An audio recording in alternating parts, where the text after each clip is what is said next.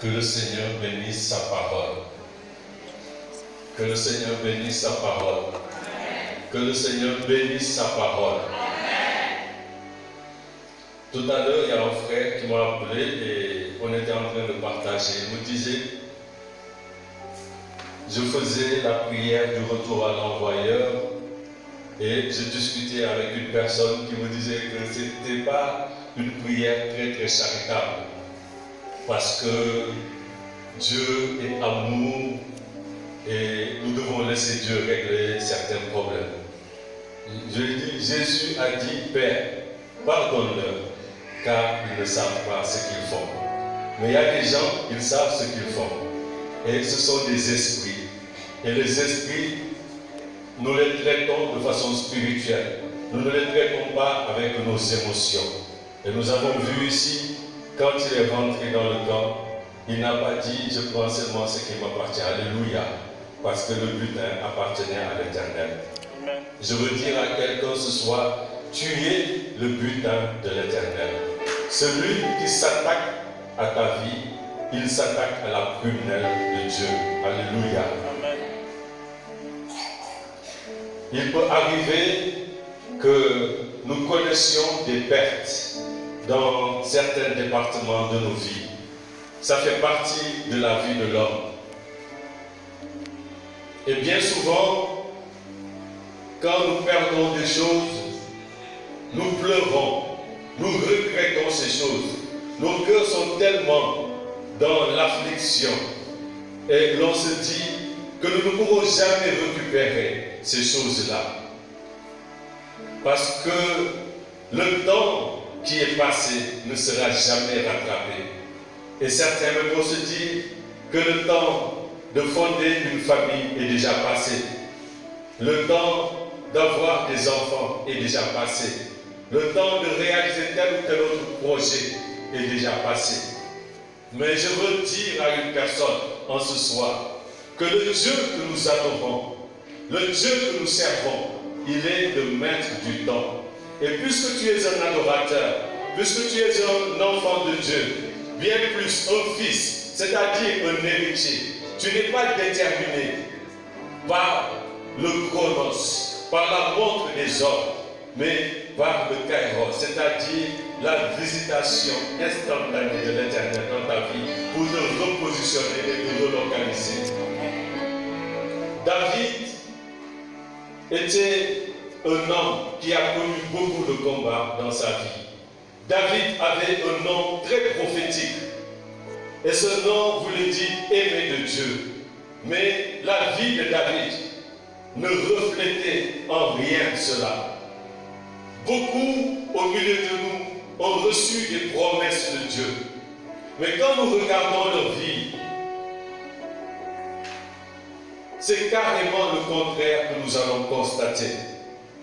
Mais je veux dire ce soir que celui-là qui a fait la promesse a la capacité de disposer le temps et les circonstances en ta faveur. David a connu le combat spirituel très tôt. Il était rejeté même de sa famille. On ne le comprenait pas. Il a reçu l'onction. Il est consacré roi. Mais David ne peut pas s'asseoir sur le trône. Il ne peut pas s'asseoir sur le trône. Il est obligé de courir. Mais David regarde toujours à Dieu. David n'est pas découragé. Et toi non plus, tu ne vas pas te décourager. Tu ne vas pas te décourager parce que celui qui a fait la promesse, il est fidèle. Il y a en lui la capacité pour faire toutes choses nouvelles dans ta vie. Celui qui a fait la promesse, il est vivant. Il ne change pas. Il est le même hier, aujourd'hui, éternellement. C'est pourquoi l'apôtre Paul veut dire dans le livre des Philippiens au chapitre 1, le verset 6, je crois, je suis persuadé que celui qui a commencé cette bonne œuvre en toi la rendra parfaite. Amen. Alléluia. Amen. Il en sera de même pour ta vie. Le Dieu avec qui tu as commencé l'année ne te laissera jamais en chemin. Parce que c'est un Dieu d'amour, c'est un Dieu fidèle. David a connu beaucoup de difficultés. Il était roi, mais il n'avait pas de château. Il n'avait pas de trône. Il n'avait rien. Il était obligé de courir. D'aller de grotte en grotte, de cachette en cachette. Pourtant, il a reçu l'onction de Dieu.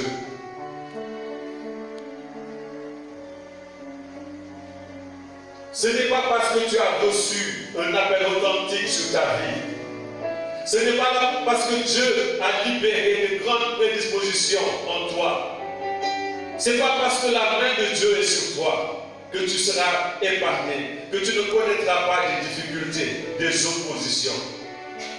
David était obligé de se cacher parce qu'il était roi.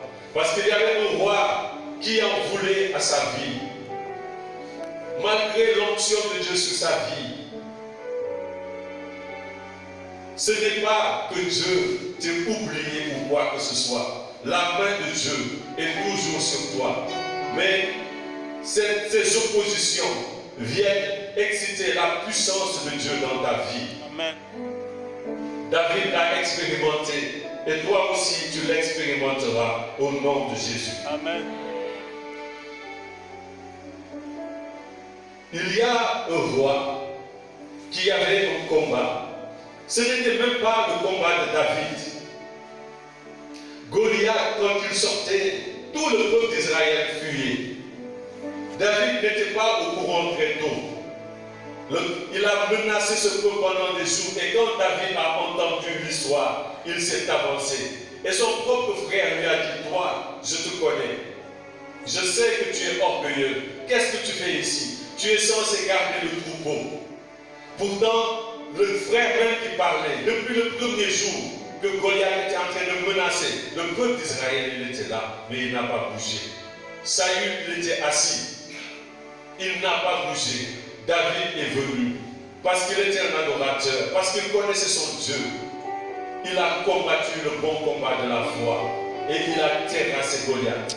Et voici que les femmes ont commencé à chanter. David a tué des myriades et sauvé des milliers. La jalousie s'est emparée du cœur du roi Saül. Et il avait comme mission de tuer David. David avait l'appel de Dieu, il avait l'onction de Dieu, il avait la grâce de Dieu sur sa vie. David avait même l'occasion de le tuer, mais il ne voulait même pas dire du mal de lui. Et il a continué sa route. Il a commencé à aller de cachette en cachette, de grotte en grotte, jusqu'à tomber dans le corps des Philistins. David savait, combien même il était dans la grotte, David savait qu'il avait quelque chose en lui. Alléluia. David savait qu'il avait reçu quelque chose de Dieu. Bien-aimé, si la promesse que tu as reçue vient du trône de Dieu, vient de la parole de Dieu, sois dans la paix, sois rassuré, sois serein, parce que celui qui a fait la promesse ne tardera jamais. La Bible déclare, même si la prophétie tarde, elle s'accomplira certainement. Celui qui a fait la promesse agit toujours. Si ce que tu as reçu, cette promesse que tu as reçue vient de Dieu, sois dans la paix. Parce que Dieu, celui-là qui a fait la promesse, ne vient jamais en retard. Il ne vient jamais en retard. David savait qu'il avait reçu quelque chose. Et ce qu'il avait reçu, ça ne venait pas de ses parents. Ça ne venait pas du roi. Mais ça venait du roi des rois. Alléluia. C'est pourquoi il a continué son chemin. Il a marché. David n'avait rien avec lui. Il n'avait pas d'argent. Il n'avait pas de couronne. Mais il y a des gens qui ont décidé de marcher avec David parce qu'ils croyaient en David, parce qu'ils étaient convaincus que David était celui-là que Dieu avait choisi. Et ils ont commencé à marcher ensemble. Ils ont commencé à cheminer ensemble. Dans la vie, nous pleurons beaucoup pour des gens qui nous ont abandonnés, ou bien des gens à qui nous avons fait un grand bien et qui se retournent contre nous. Nous pleurons beaucoup sur, ces gens-là, si bien que nous ne voyons pas ce que Dieu envoie pour nous donner d'aller dans une nouvelle dimension. David avait fait du bien au roi Saül. David n'était pas aimé, mais il aimait le roi quand même. Il avait la possibilité de l'éliminer. Il a coupé un morceau de sa robe pour lui montrer que n'eût été l'amour que j'avais pour l'éternel, j'aurais pu te décapiter.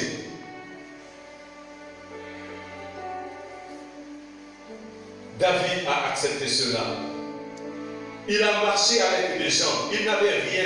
Il n'avait pas d'argent pour que ces gens-là puissent le flatter et lui dire tu es fort, tu es grand, etc. pour recevoir quelque chose de sa part. Mais l'Esprit de Dieu se mouvait en eux et ils ont compris que cet homme-là avait quelque chose de spécial dans sa vie. Alléluia. Et quand David marche avec ces gens, à un moment, il va à une campagne avec ses soldats. Et quand ils reviennent de leur campagne, ils trouvent un dénuement extrême. Alléluia.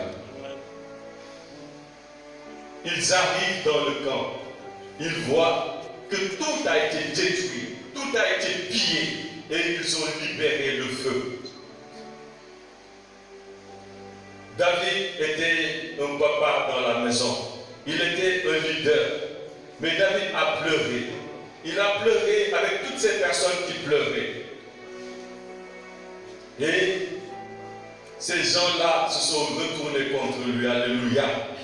Et lui ont dit, aujourd'hui c'est aujourd'hui. On ne voit pas nos femmes, on ne voit pas nos enfants. On va finir avec toi. Il a continué à pleurer parce qu'il pleurait à l'éternel. La Bible dit, s'appuyant sur l'éternel, le Seigneur s'attend à ce que tu t'appuies en tout temps sur lui. Quel que soit ce que tu vis, tu peux pleurer, mais tes pleurs ne peuvent pas détruire ta destinée, ne peuvent pas détruire ta marche à la suite de Christ. David a pleuré, mais puisqu'il était un leader, il était obligé de sécher ses larmes et de se lever. L'ennemi va attaquer ta vie. Il va te voler des choses précieuses, mais il n'aura pas l'inspiration de te tuer. Et c'est ce qui fera toute la différence. Alléluia. S'ils avaient tué, s'ils avaient tué ce peuple, tu vas perdre des choses, tu vas pleurer, mais Dieu t'a donné encore la vie. Tu es vivant. Et puisque tu vis, quelque chose va se passer. Si tu as reçu la promesse de Dieu, même quand tu meurs avant ton temps, le Seigneur viendra te ressusciter. Même quand les départements de ta vie meurent, le Seigneur les ressuscitera. Alléluia. Nous voyons la vie de Lazare. Lazare était un ami de Jésus. Lazare était mort. On a dit qu'il puait même. Mais quand Jésus est venu, il a appelé à la vie. Alléluia. Aucune situation de ta vie n'est morte. Aucun département de ta vie mort. Parce que tu as reçu une promesse. L'essentiel est que tu sois dans la maison de Dieu. L'essentiel est que tu sois dans la présence de Dieu. Quel que soit ce que tu traverses, quel que soit ce que tu vis. Ils n'ont pas eu l'inspiration de te tuer. Et Dieu, à cause de son souffle de vie, viendra opérer le miracle dans ta vie. Amen. Il viendra agir dans ta vie. Tous ceux qui ont essayé de te tuer et qui n'ont pas pu, le Seigneur va leur montrer que tu es une bonne graine. Alléluia. Amen. Ils n'ont pas pu tuer tout ce peuple. Ils ont pris le butin, ils ont pris tous leurs biens, ils sont partis. Tout à l'heure, je disais qu'il ne faut pas pleurer pour les gens qui nous abandonnent. Parce que Dieu est le professionnel du remplacement. Quelque part, il envoie aussitôt quelqu'un d'autre. Pourquoi est-ce que tu as dit je vais me tuer Parce que j'aime trop cette femme? Alléluia. Il y a beaucoup de femmes sur la terre des vivants. Si ce n'est pas elle, ce sera une autre. Alléluia. Les femmes même sont plus nombreuses que les hommes sur la terre des vivants. Pourquoi est-ce que tu vas te tuer pour une femme? Ce n'est pas de l'amour, c'est Jésus seul qui s'est tué pour nous à cause de son amour. Ça, ce n'est pas de l'amour.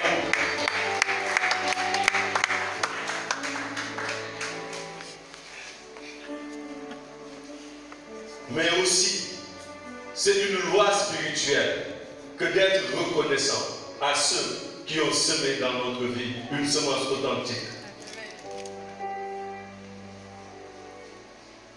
David, il est là, on menace de le tuer. On menace de le tuer. Et les gens étaient furieux contre lui. Ils ont oublié qu'ils ont cheminé avec le roi. Ils ont oublié qu'ils ont cheminé avec loin de l'éternel.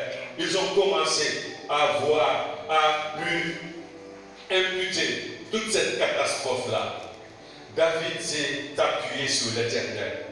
Il a commencé à chercher la face de Dieu. Il a commencé à prier, à rechercher véritablement la face de Dieu. Et Dieu lui a donné une idée. Dieu lui a donné une inspiration. Pour que Dieu transforme la vie d'une personne, Dieu va te donner une information. C'est peut-être par le biais d'une personne, mais cette information-là viendra changer radicalement l'histoire de ta vie.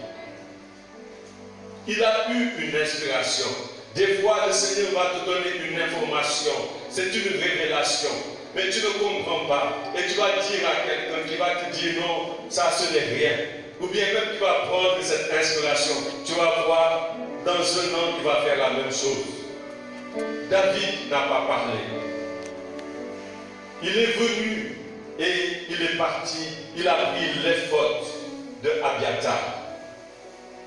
Abiatar était le sacrificateur. C'est comme si aujourd'hui je viens et que je prenais l'étole du prêtre et je m'empare de son étole. David a pris les fautes de Abiatar et il s'est présenté dans la présence de Dieu. David était convaincu qu'Abiatar ne pouvait pas répandre son âme dans la présence de Dieu comme lui, il le ferait. David était convaincu qu'Abiatar n'aurait pu jamais traduire sa pensée dans la présence de Dieu. David était convaincu qu'Abiatar était trop limité parce que ce n'était pas Abiatar qui était menacé de mort. C'est lui qui était menacé de mort. Il a pris l'effort, il a pris son manteau et il est venu se présenter sous le manteau de Abiatar et il a commencé à parler à Dieu. Quand nous nous recouvrons du sang de Jésus-Christ de Nazareth, le Seigneur ne nous voit plus dans nos faiblesses, mais il voit la puissance du sang de Jésus-Christ qui plaide en notre faveur. Et David, quand il avait le manteau, il est venu avec une autre onction, en plus de ce que le Seigneur avait libéré sur sa vie. Et il a commencé à parler. David a posé à Dieu deux questions. Et Dieu lui a donné trois réponses. Alléluia. Le Seigneur te donnera toujours au-delà de tes attentes. Il te donnera toujours au-delà de tes demandes. Parce qu'il sait ce dont tu as besoin. Il connaît ta vie. Il connaît ton cœur. Il sait tout. Il voit tout. C'est lui qui sonde les reins et les cœurs. David a dit, poursuivrai-je, l'atteindrai-je Et le Seigneur lui répond, poursuis-le, tu l'atteindras, mais aussi tu délivreras ton peuple. Alléluia. Alléluia. Alléluia. Et David a compris que le Seigneur était avec lui. Vous savez, Dieu, il opère une chose dans ta vie aujourd'hui, c'est pour te préparer à un combat.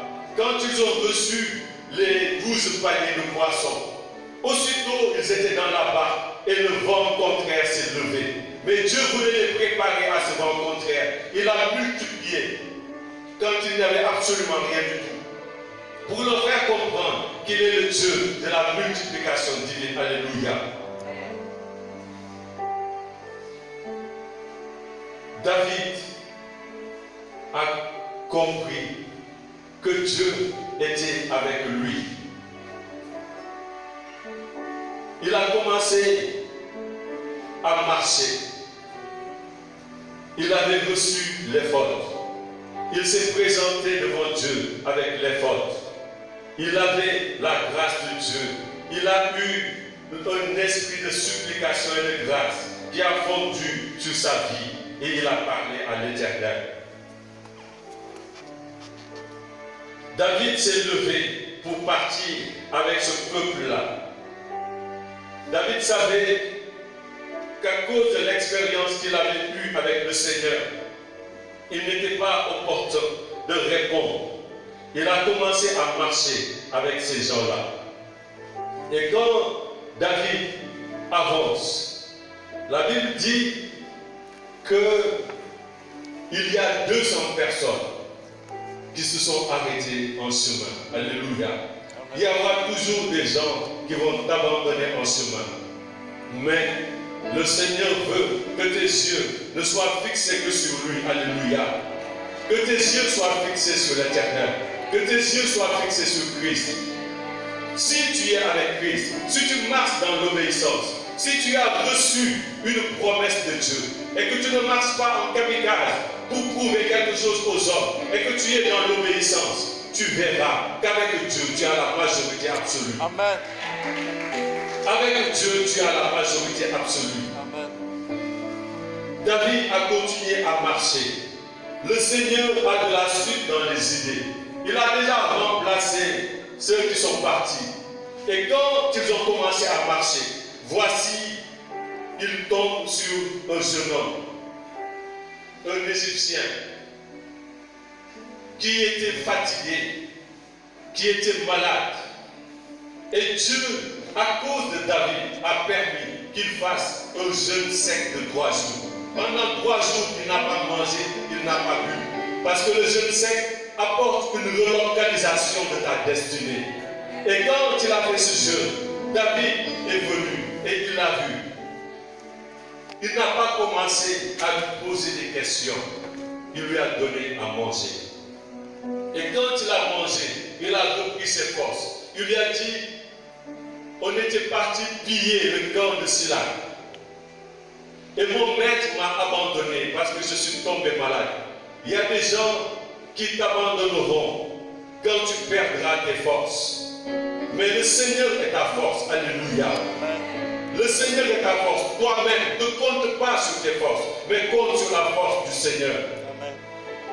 Il dit, mon maître m'a abandonné parce que j'étais malade et je n'avais plus de force.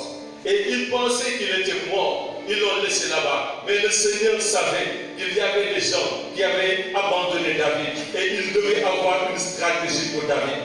David avait de l'expérience. Parce que dans le livre des Chroniques, au chapitre 14, le verset 6, David était dans un combat. Et Dieu a parlé à David. Il lui a donné une direction offerte. Ce jeune homme qui lui dit, je sais tout, il lui a indiqué où ils étaient. Et quand il est arrivé sur le lieu, parce qu'ils ont pris un raccourci, ils n'ont pas perdu de temps, parce qu'ils savaient où ces gens-là étaient, ceux qui avaient le butin d'Israël, ceux qui avaient détruit le camp, ceux qui avaient pillé le camp, ceux qui avaient fait prisonnier leurs femmes et leurs enfants. David, même ses femmes étaient prisonnières, même pourtant on l'a menacé. Et quand ils sont arrivés à ce lieu, ils étaient en train de danser, ils étaient en train de célébrer. Alléluia. Il y a des gens qui sont en train de danser au village parce qu'ils pensent que leurs invocations sur ta vie vont marcher, mais ils vont échouer au nom de Jésus. Ils seront surpris, ils seront surpris, ils seront surpris. Pendant qu'ils seront en train de danser, la puissance de Dieu va les rencontrer. Pendant qu'ils seront en train de louer, la puissance de Dieu va les frapper. Alléluia. Ils étaient en train de danser, ils étaient en train de louer. Bien-aimé, tu as une promesse de Dieu. Ne regarde pas ton voisin qui avance à une vitesse supersonique. Quand ton voisin danse aujourd'hui, dis-lui gloire à Dieu. Mais demain, je vais danser. Seulement prépare-toi à me passement des hommes. Alléluia. Prépare-toi à ma danse. Parce que toi, tu es inscrit dans le calendrier de Dieu. Et Dieu agit au moment favorable. Il agit au moment favorable. Les hommes peuvent te dire que c'est fini pour toi. Mais ça, c'est ce que disent les hommes. Dieu a la puissance en lui pour te propulser. Quand David et son armée sont arrivés, ils ont vu des gens qui étaient en train de célébrer à la païenne. Alléluia. Ils ne savaient pas qu'il y avait une louange pouvait détruire le camp de l'ennemi. Et donc, ils sont arrivés. J'aime la parole de Dieu. La Bible dit, il n'y a pas eu un seul qui échappa. Alléluia. Tous, tous ont été récupérés par la puissance de Dieu, à part les 400 qui ont fui. Ils ont récupéré le butin. Ils ont récupéré leurs femmes. Alléluia. Ils ont récupéré leurs enfants. Alléluia. Ils ont récupéré tout. Mais ils ne se sont pas arrêtés à cela. Ils ont récupéré aussi ce qu'ils avaient déjà emmagasiné de leurs autres croisades. Ils ont tout pris. Et ils étaient dans une réjouissance. Alléluia. Parce que la main de l'Éternel les a secourus. Parce que Ebenezer était avec eux. Alléluia. Et donc, ils ont commencé à rentrer, ils étaient dans la joie de retrouver les membres de leur famille, leurs femmes, etc. Ils se sont réjouis. Et en chemin, ils ont vu les 200 qui étaient trop fatigués pour faire le chemin. Peut-être que toi et moi, nous faisons partie de ce groupe-là, des gens qui étaient fatigués. Cette année, on a été trop fatigués. On n'a pas pu se lever la nuit pour prier. On n'a pas pu avoir une vie de prière véritable. Mais le Seigneur ne regarde pas à nos faiblesses. Le Seigneur regarde toujours à la vérité de notre cœur. David n'a pas eu de masque quand il s'est agi de pleurer. Il a pleuré. Les masques nous alourdissent tout simplement. Les masques ne peuvent pas toucher le cœur de Dieu. Tu peux narguer ton voisin, lui faire croire au Père Noël. Mais ça, ça ne change rien. Dieu veut que tu viennes à lui dans ton état. Les deux hommes étaient trop fatigués. Ils étaient trop fatigués. Et quand ils sont arrivés à leur niveau, nous sommes bientôt à Noël. Et Noël, même les parents qui sont radins sont obligés d'acheter des cadeaux. Alléluia. Tu es obligé parce que les enfants ils réclament. Et donc, même si tu achètes dans la joie ou pas dans la joie, tu vas acheter. Et donc, nous, parents, qui sommes capables d'acheter des cadeaux et de réjouir nos enfants, combien notre Dieu qui est dans les cieux ne nous surprendra pas avec toutes sortes de cadeaux en cette période pour réjouir nos cœurs, pour réjouir nos âmes. Et quand ils arrivent au niveau de ces deux soldats, David commence. David, avant même qu'il ne parle, des gens disent, ces gens-là, ils ne vont rien toucher. Au moins de femmes, on va leur donner de femmes. Peut-être même il y en a qui disaient, les enfants vont venir avec nous. Et David leur a dit, bien-aimés, soyons tranquilles, Dieu nous a fait grâce. Bénissons-les. Nous avons tous la même part. Alléluia. Nous avons tous la même part. Nous avons tous la même part aux yeux de Dieu. La Bible dit que Dieu ne fait exception de personne. Ne regarde pas un homme parce qu'il est trop bien pour t'écraser devant lui. Ne regarde pas une femme parce qu'elle est hyper maquillée pour dire non, ce n'est pas ma place. Dieu te voit comme il voit ton voisin. Il n'y a pas de différence. Ton voisin n'a pas plus d'importance aux yeux de Dieu que toi. ne laisse pas l'ennemi te mentir. Et la Bible dit qu'ils en ont fait une loi et une coutume jusqu'à ce jour en Israël. Parce que David a partagé avec tout le monde. Et ce que j'aime dans ce qu'il a fait, David s'est souvenu qu'à un moment donné, il était presque prisonnier. Il courait de grotte en grotte. Il n'avait pas de lieu. Et il y avait des gens qui avaient partagé leur pain avec lui. Ils auraient pu manger avec leur famille. Mais ils ont pensé à David. Il y a des gens qui lui ont donné à boire. Mais David est repassé là-bas. Et il les a bénis. Souviens-toi des gens qui t'ont fait du bien. Alléluia. Et quand il donnait, il ne pouvait même pas s'imaginer qu'un jour, David viendrait. La semence que tu jettes sur la terre de la mission, la semence que tu libères n'est jamais perdue. Dieu suscitera un David pour te récompenser au temps opportun. Dieu suscitera quelqu'un pour te récompenser au temps opportun.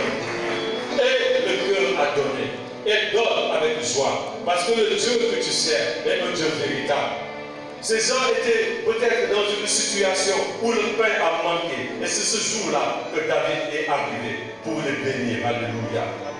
Et Dieu veut te bénir. Dieu est avec toi. Et puisqu'il est avec toi, personne, personne ne peut t'empêcher. Personne ne peut t'empêcher de te réjouir. Tu vas te lever dans la présence de Dieu. Parce que cette parole t'a déjà envoyé dans le camp de tes ennemis. Alléluia. Tu es déjà dans le camp de tes ennemis. Tu es déjà dans le camp de tes ennemis. Et le Seigneur veut, avec toi, agir dans ce soir.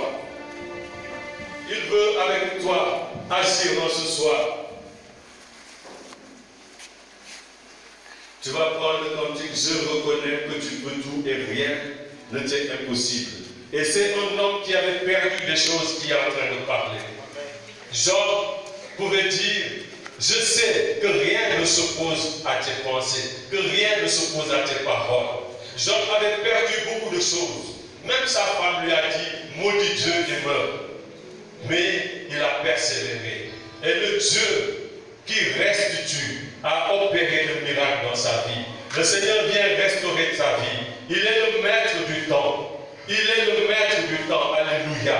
Il vient de restaurer toutes les choses qui t'ont été volées. Le Seigneur va agir dans ta vie. Et je crois, d'ici le 31 décembre, il y aura un témoignage éclatant dans ta vie. Si tu crois que Jésus-Christ est présent, si tu crois dans ton cœur, tu verras la puissance, sa puissance se manifester maintenant. Je reconnais que tu peux